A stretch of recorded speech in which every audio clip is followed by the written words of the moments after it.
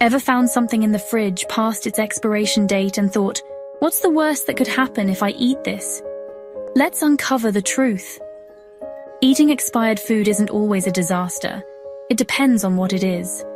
Some foods, like dry pasta or canned goods, are usually safe a little past their expiration date. But others, like dairy, meat or seafood, they can grow harmful bacteria like salmonella or listeria, which could leave you with food poisoning or worse, a trip to the hospital. But here's a twist. Those dates aren't always about safety.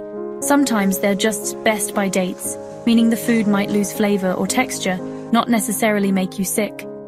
When in doubt, trust your senses. If it smells weird, looks off, or tastes funky, don't risk it. Think this is helpful?